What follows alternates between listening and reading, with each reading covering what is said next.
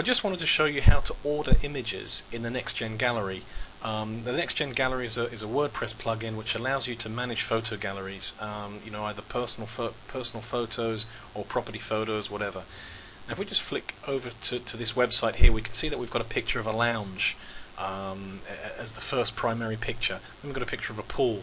Now, um, if we wanted to say make the in this in this sequence of photos make the kitchen appear as the first photo, then what we will do is we would go into our WordPress, scroll down to the section that says Gallery, click on Manage Gallery, okay, then we click on the, the gallery that we want to, to edit, we then go down to uh, Sort Gallery, um, we, we, we, we can see the sequence of images as they're going to appear and we, we, we said that we want to put the kitchen as the first image. So we select the kitchen and then we just drag it to the front. So we'll do the same. We'll do the same with this picture of the stairs. We'll, we'll drag that as the second picture, and we'll put the pool as the third picture. Um, then you click Update Sort Order. Okay.